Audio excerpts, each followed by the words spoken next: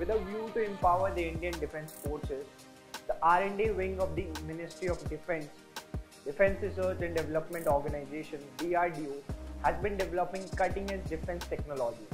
And one such example is DRDO's Extreme Cold Weather Clothing System ECWS. The Made in India technology was recently handed over by DRDO's chairperson, Dr. G. Satish Reddy, to five Indian companies.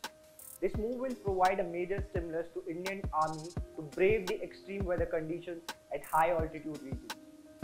Speaking on the occasion, Chairperson DRDO Dr. G. Satish Reddy emphasized on the need for developing indigenous industrial base for special clothing and mountaineering equipment, not only to cater to the existing requirements of the Indian Army, but also to tap its potential for export.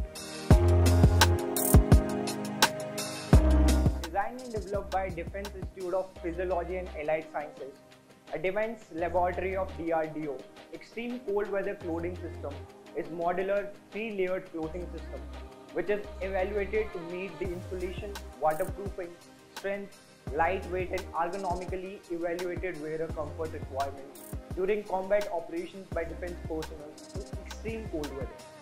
The clothing system has three layers, inner, middle and outer layer.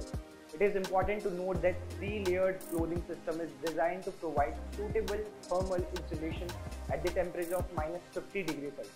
Interestingly, the outer layer of the clothing is reversible for camouflage purposes in both snowbound terrain and as well as area without snow cover. Further, the clothing system is designed in a manner that meets a range of motion requirements for all desired human movement while catering to the ruggedness requirements in mountain terrain.